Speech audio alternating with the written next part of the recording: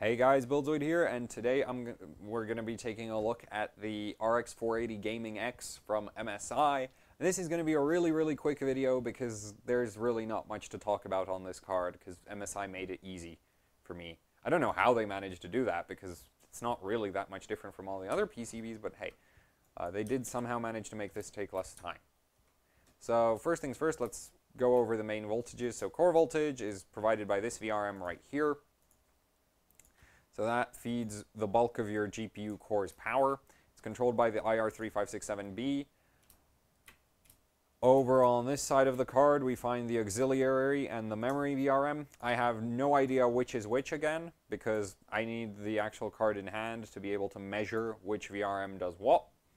However, I can tell you this much, they're both identical in terms of power delivery capability. They're going to be slightly different in how like clean the power coming out of them is because one of them has significantly larger capacitors. At least I assume that they all belong to this one, but I'm not sure. And oops. so, yeah. Uh, one of them is going to feed your GDDR5, one of them is going to feed the memory controller on the GPU. They're both the same power, so it doesn't really matter. I can't cover how to volt mod either of them any either because uh, can you read this? Because I sure can't read that. So, yeah, I can't tell you how to volt mod either of them. However, if you do have the Gaming X, you can just look at this IC, and if you can figure out what this brown mess right here is, um, that'll tell, you know, punch that into Google, and if you're lucky, you'll get a data sheet detailing that chip in all the detail you need. And if you need any help with that, you can always send me a message on YouTube, and I'll be happy to help you do remember that if you destroy the card, it's not my fault. Okay? so that's that. Uh, last VRM on the card, the 0.95 volt. Unfortunately, I can't read this either, so I have no idea what this one is. So, however, I suspect it's going to be the same deal as all the other cards, which means an 8 amp, uh, fully integrated VRM in a chip. Because this integrate this chip right here integrates all the active components of a VRM and then you only are left with the passive components like the uh, inductor and the capacitor. So now that's that's all the VRMs on this card. Let's actually talk about them in some more detail. So the V-core on this card is entirely fed by the 8-pin. So you have the 8-pin, that goes through this choke right here. So that's there to suppress current spikes coming off of the V-core VRM. And then that feeds into this massive power plane right here, and that power plane then feeds all of these uh, phases. So, yeah, so the V-core is entirely on your 8-pin, so that's nice. You don't have to worry about burning out your PCIe socket, though I, I still don't believe that that's actually doable. So, you know, make of that what you will, but if you're worried about your PCIe socket, then don't. With this card, you're safe. Um, the V-Core VRM is a six phase. We have six chokes. And we have six high side, low side MOSFET uh, integrated IC things. Do these have an official name? Um, well, they call them a dual N-channel MOSFET, which works, but that's not nearly short enough as, as I like it to be. So yeah, it's two MOSFETs on one chip. So yeah.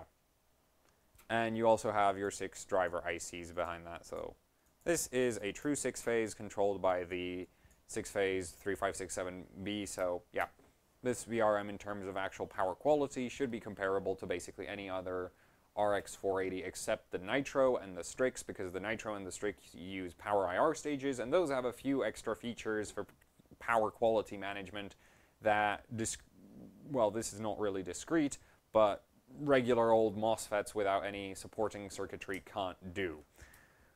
So, regular old support, uh, regular old MOSFETs, however, you know, let's talk about the current rating for these guys. So, one of these is a UBIQ 3816.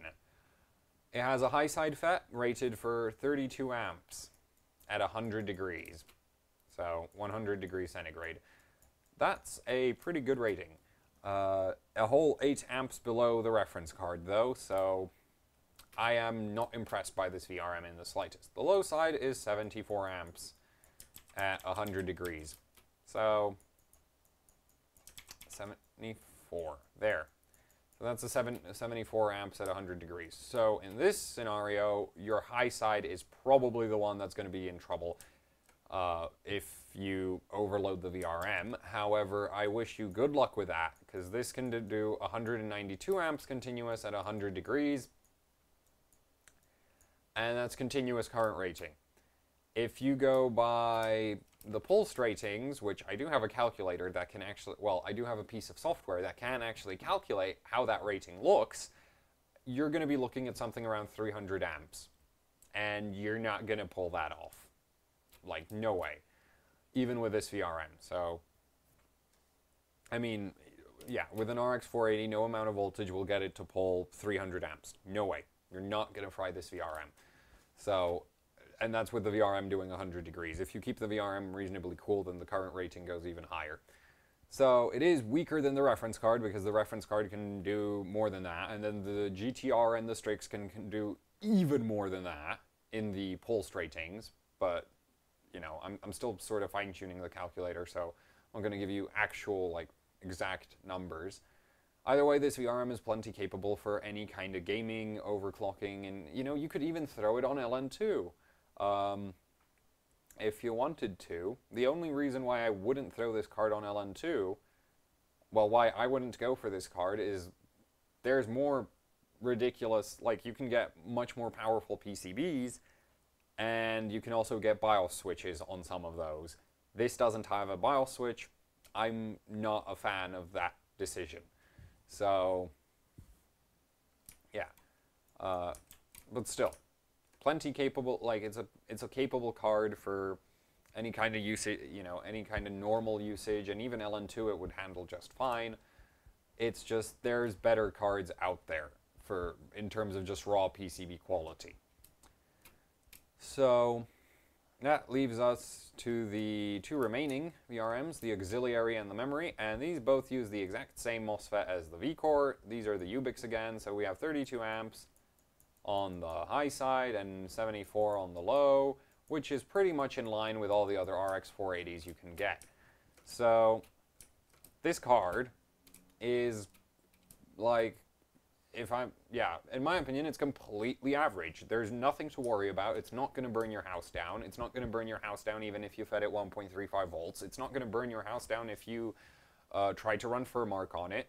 It's not going to burn your house down basically under any scenario, though I probably wouldn't try to do 1.35 volts, no power limit, and Furmark just because that one seems like you wouldn't be actually able to handle the VRM temperature because that's that's the bigger issue is like when you start pushing a lot of power through a lot of VRMs like at normal power consumption levels they're you know they're running at 70 degrees. At twice the current demand or three times the current demand you're going to be putting out four times to nine times the heat. Um, and then you start having serious issues which is why I go by 100 degree ratings because 100 degrees is usually where you start hitting the thermal protection for most VRMs. Above 100 degrees, it'll usually the the VRM protection will kick in and it'll downclock the GPU. So that's why I go by 100 degrees rating because that's where the VRM still doesn't go into safety.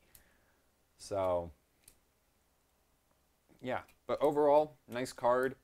Uh, if you have it, I wouldn't be worried about it.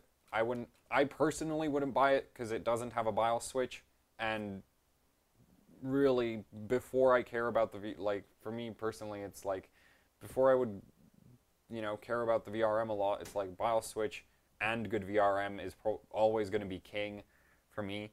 So this has a fine VRM. I'm not going to say it's good because it's weaker than the reference card and it's weaker than two other RX4, three other R. No, well, Depends on how you take it. Two other, three other RX 480s. The Nitro is arguable. Um, so, yeah. Um, this doesn't have a BIOS switch, and that pretty much, you know, that, that's the end of my interest in it. But if you don't care about BIOS switches, then this PCB is perfectly capable for whatever needs you may have. However, I would not be interested in paying a pr- premium for this PCB because it's not premium. Just isn't.